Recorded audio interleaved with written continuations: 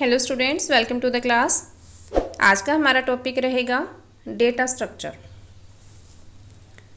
तो data structure में हम ये देखेंगे कि डेटा क्या है डेटा स्ट्रक्चर क्या है, किस तरह से डेटा स्ट्रक्चर क्रिएट किया जाता है, और डेटा पे कौन कौन से ऑपरेशन परफॉर्म किए जाते हैं. तो चलिए स्टार्ट करते हैं.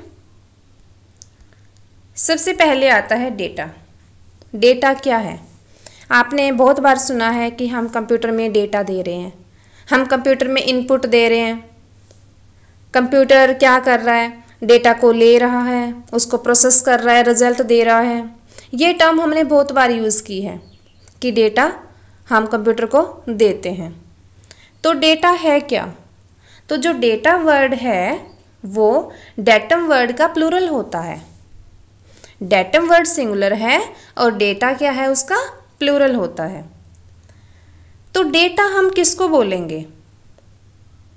जो भी रो फैक्ट्स होते हैं, जो प्लेन टेक्स्ट होता है, जो सिंपल हमारे पास डेटा है, उसको हम डेटा बोलते हैं। जिसका ज़रूरी नहीं है कोई मीनिंग हो, वो मीनिंगफुल नहीं होता और इसलिए वो इतना यूज़फुल भी नहीं होता। तो जो रो फैक्ट्स है, उसको डेटा बोला गया है। अगर आपको सिंपल कह दे कि ट्वेंटी थर्टी फोर्टी या कोई नंबर लिख देते हैं तो वो डेटा है। आप कह सकते हो कि हाँ ये डेटा है। बट आपको ये नहीं पता कि ये डेटा है किस काम का। क्योंकि आपको वहाँ पे उस डेटा के एट्रीब्यूट नहीं पता कि ये ट्वेंटी है क्या चीज़। तो जो रो फैक्ट्स हैं, उनको क्या बोला गया? डेटा बोला गया। तो डेटा कुछ भी हो सकता है। करेक्टर में भी हो सकता है टेक्स्ट भी हो सकता है नंबर भी हो सकता है, कोई पिक्चर हो सकती है, कोई ग्राफिक्स हो सकता है साउंड हो सकती है वीडियो हो सकती है। तो डेटा ज़रूरी नहीं है, कोई अक्सर ही हो। डेटा कुछ भी हो सकता है। नेक्स्ट है कि जब डेटा नेचुरल फॉर्म में होता है तो स्ट्रक्चर्ड एंड ऑर्गेनाइज्ड नहीं होता। डेटा सिंपल है हमारे पास, उसको ऑर्गेनाइज अभी तक नहीं किया गया है तो वो किसी काम का नहीं है। चाहे उसको कंप्यूटर यूज़ कर रहा हो या उसको इंसान यूज़ कर रहा हो। अगर डेटा ऑर्गेनाइज नहीं है तो वो काम का नहीं है। क्योंकि अगर हमें सिंपली कहा जाए कि हंड्रेड तो हमें थोड़े ना पता है कि वो हंड्रेड है क्या। लेकिन हम उस डेटा का यूज़ तो नहीं कर पा रहे हैं ना। क्या काम का है? जब हमें उस डेटा के बारे में कुछ पता ही नहीं है कि ये है क्या, उसका एट्रीब्यूट हमें नहीं पता। सिंपल हमें पता है कि हंड्रेड हमें बताया गया है कि जो डेटा है वो हंड्रेड है। तो उसके बारे में हमें नहीं पता तो वो डेटा किसी काम का नहीं है। डेटा अपने रो फॉर्म में किसी काम का नहीं होता। ये तो हमने देख लिया कि डेटा जब रो फॉर्म में होता है, वो किसी काम का नहीं होता। लेकिन जब उसी डेटा को प्रोसेस कर दिया जाए। उसी डेटा को जब प्रोसेस कर दिया जाए तो वो मीनिंगफुल बन जाता है। तो आफ्टर प्रोसेसिंग वो डेटा क्या कहलाएगा? इन्फॉर्मेशन और इन्फॉर्मेशन तो हमेशा काम की होती है। जो डेटा है, वो तो रो फैक्ट्स है, लेकिन जब उस डेटा को प्रोसेस कर दिया तो वो मीनिंगफुल बन गया और उसका बोला गया इन्फॉर्मेशन तो ये जो डायग्राम बनाया हुआ है छोटा सा, इसमें यही बात बताई हुई है कि जो डेटा है, वो आफ्टर प्रोसेसिंग इन्फॉर्मेशन बन गया। फिर एक एग्जांपल है कि यदि किसी क्लास में जो स्टूडेंट्स हैं, उनके मार्क्स दिए हुए हैं रोल नंबर लिखे हुए हैं एज लिखी हुई है, उनके रैंक्स लिखे हुए हैं तो वो जो सारा एक डेटाबेस बनाया हुआ है, उसमें जो है, उसको हम डेटा बोलेंगे कि हाँ ये डेटा है। लेकिन अगर ये कहा जाए कि जो बेस्ट पाँच स्टूडेंट हैं, उनका रिज़ल्ट चाहिए, उनके मैथ के मार्क्स चाहिए। तो अब क्या करना पड़ेगा? उस डेटा को ऑर्गेनाइज करना पड़ेगा। उस डेटा को प्रोसेस करना पड़ेगा। तभी हमारे पास रिज़ल्ट आएगा कि टॉप के पाँच स्टूडेंट्स कौन से हैं? है ना? तो उन स्टूडेंट्स में से हमें पाँच स्टूडेंट्स को सिलेक्ट करने के लिए उस डेटा को ऑर्गेनाइज करना पड़ेगा प्रोसेस करना पड़ेगा, तभी हमारे पास रिज़ल्ट में वो पाँच स्टूडेंट आएँगे।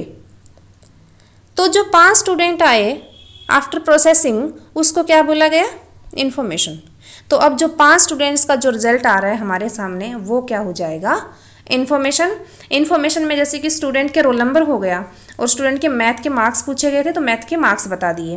रोल नंबर वन के 99 है टू के 85 है थ्री के 84 है फोर के 82 है फाइव के 80 हैं। तो ये क्या बन गई एक इन्फॉर्मेशन बन गई है। ये अपने एट्रीब्यूट के साथ है कि रोल नंबर वन है और मैथ के मार्क्स 99 है।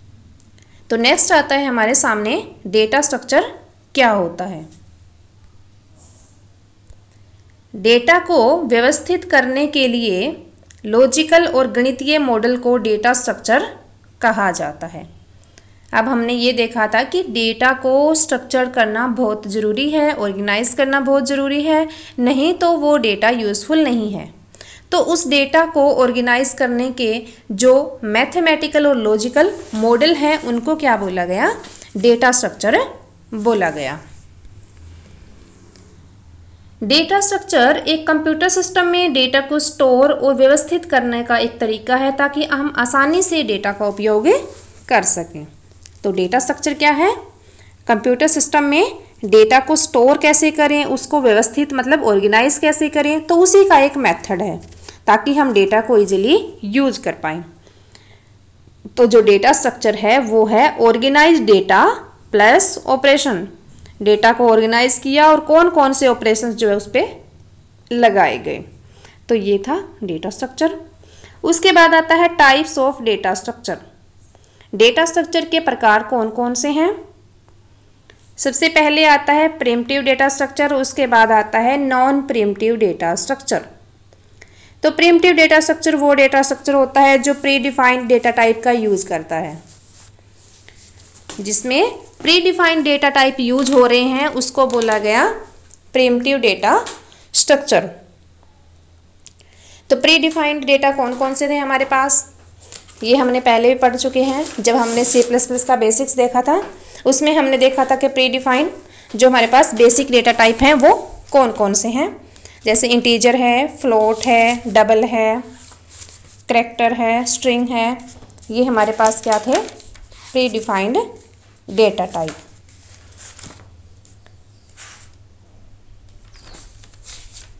उसके बाद जो नेक्स्ट आता है, वो है नॉन प्रिमटिव डेटा स्ट्रक्चर तो नॉन प्रिमटिव डेटा स्ट्रक्चर में क्या होगा?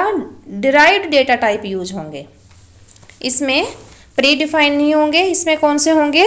डिराइव्ड डेटा टाइप यूज़ होंगे। तो उस डेटा स्ट्रक्चर को कहा गया नॉन प्रिमटिव डेटा स्ट्रक्चर इसमें दो प्रकार के होते हैं ये लीनियर और नॉन लीनियर तो देखते हैं लीनियर क्या है और नॉन लीनियर क्या है। लीनियर में आता है हमारे पास जो डेटा आइटम को एक रैखिक रूप में रखता है सीक्वेंस में रखता है लीनियर सीक्वेंस में रखता है, वो होता है लीनियर तो लीनियर में है एरे लिंक लिस्ट टैग और क्यू और नॉन लीनियर में आता है ट्रीज ग्राफ्स टेबल्स सेट्स तो चलिए देखते हैं लीनियर डेटा स्ट्रक्चर की definition linear data structure linear data structure एक ऐसी डेटा संरचना है जिसमें डेटा आइटम को रैखिक रूप मतलब लीनियर सीक्वेंस में स्टोर किया जाता है और ऑर्गेनाइज किया जाता है, संग्रहित किया जाता है और व्यवस्थित किया जाता है, जिसमें डेटा आइटम एक रेखा के रूप में एक दूसरे से जुड़े होते हैं। जो डेटा है वो सीक्वेंस में होता है। एरे लिंक लिस्ट स्टैक और क्यू जो है वो लीनियर डेटा स्ट्रक्चर के एग्ज़ाम्पल होते हैं। तो एरे में आपने देखा होगा कि जो डेटा होता है वो बिल्कुल लीनियर होता है सीक्वेंस में आता है।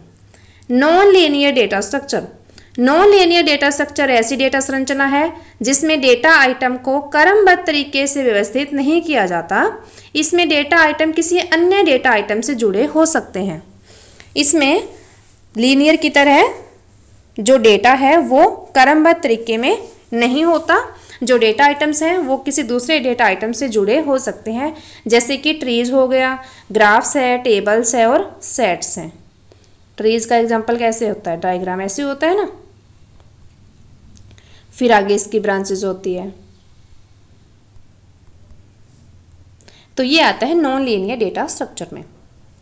तो डेटा स्ट्रक्चर कौन कौन से थे? प्रिमटिव और नॉन प्रेमटिव और फिर आगे क्या था? नॉन प्रेमटिव के एग्ज़ाम्पल थे, दोनों टाइप थे linear and non linear next आता है कि जो डेटा स्ट्रक्चर है, उस पर परफॉर्म किए जाने वाले ऑपरेशंस कौन कौन से हैं? कौन कौन से ऑपरेशंस डेटा स्ट्रक्चर पर परफॉर्म किए जाते हैं? तो सबसे पहले आता है ट्रेवर्सिंग ट्रेवर्सिंग होता है कि जो भी आपके पास डेटाबेस है जो आपके पास डेटा की संरचना है, उसमें इन डेटा को प्रोसेस करना एक्सेस करना मतलब इन पे विज़िट करना, क्या बोला जाता है? ट्रेवर्सिंग मतलब इन डेटा को प्रोसेस करना एक्सेस करना मतलब इन पे विज़िट करना, इन डेटा तक पहुँचना, क्या बोला गया? ट्रेवर्सिंग कि उसको ट्रेवर्स कर रहे हैं। देन आता है सर्चिंग सर्चिंग क्या होता है? ढूंढना।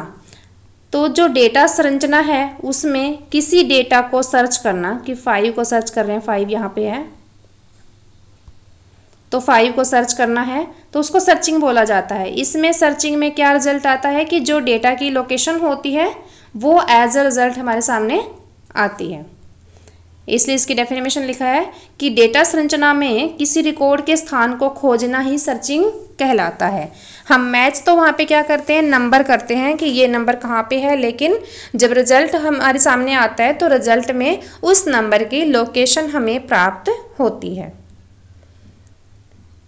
थर्ड है इंसर्टिंग इंसर्टिंग क्या होता है? डालना इंसर्ट करना। मीन्स रिकॉर्ड में जो हमारे सामने डेटा संरचना है, उसमें कोई नया रिकॉर्ड डालना, नया रिकॉर्ड जोड़ना। क्या बोला गया? इंसर्टिंग जो भी हमारे सामने डेटाबेस है डेटा संरचना है, उसमें नया रिकॉर्ड डालना इंसर्टिंग कहलाता है और किसी रिकॉर्ड को हटाना डिलीटिंग कहा जाता है डिलीट करना। डिलीटिंग क्या होता है? हटाना रिमूव करना। तो डेटा संरचना से किसी रिकॉर्ड को हटाना डिलीटिंग कहा गया। नेक्स्ट आता है सॉर्टिंग